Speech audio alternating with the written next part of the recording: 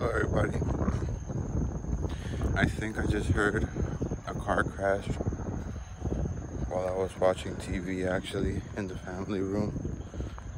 So I'm just gonna walk over and see if what I heard was right. Back is hurting a little bit. I had to clean up the backyard. we do they're doing some work back there so I want to have it clean when they came back. You know, just little stuff that they don't have to do. All right, I'm gonna stop recording for a second. I want to check it out first. All right, yeah, there is a car crash, but it's not as bad as the last one. It was just the rear end.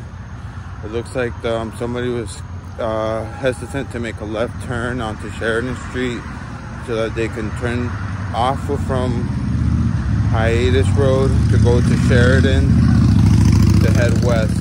And the person be, uh, that was behind them, oh, let's see what they have to say to each other.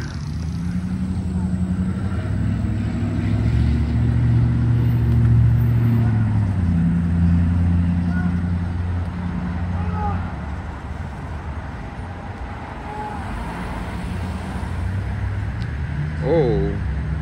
I take that back.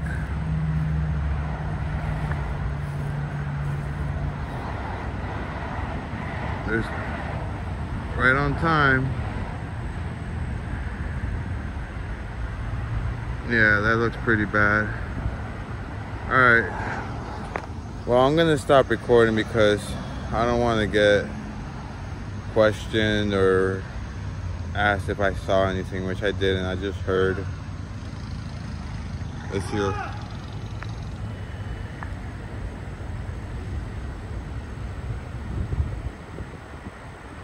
Okay. Oh, it's a lady. I feel bad now. Oh man, that young man seems agitated.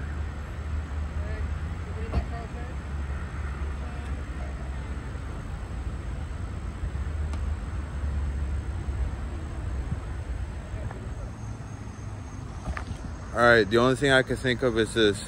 The young man must have ran a light and um, he was speeding. The person that was turning got the green light. Oh, there's somebody over there's calling. Oh, the young man saying he's living in the car.